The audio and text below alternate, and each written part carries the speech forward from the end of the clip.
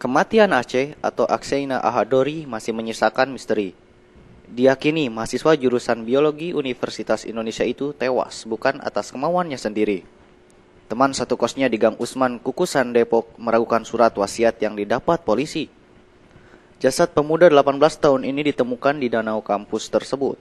Polisi mendapati korban mengenakan ransel di punggung berisi lima batako dan satu bata merah. Selain itu, dari rekan korban juga didapat surat wasiat dalam bahasa Inggris yang meminta untuk tidak mencarinya. Usai memeriksa korban, polisi beranggapan mahasiswa yang pernah menjadi juara Olimpiade biologi itu tewas akibat bunuh diri. Namun, tak sedikit yang meragukan.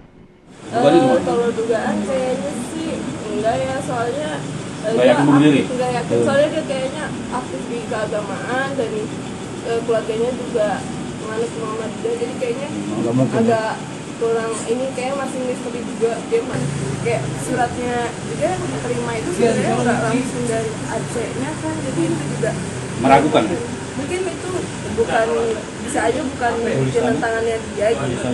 Sejauh ini polisi masih menyelidiki kasus tersebut termasuk memeriksa tulisan tangan di surat wasiat itu.